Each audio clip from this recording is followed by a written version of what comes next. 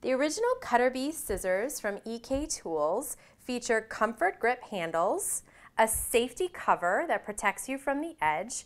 They're very sharp and they're perfect for cutting fine details or fussy cutting out pattern paper.